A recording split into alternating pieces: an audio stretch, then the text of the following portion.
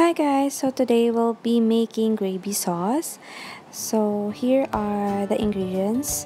So we'll be needing a um, pack of mushroom soup. So I'm using Campbell's. Then we'll be needing beef Knorr cubes. Then flour. Butter. Um, by the way, I'll be listing down the exact measurement down in the description box. And lastly, we'll be needing soy sauce.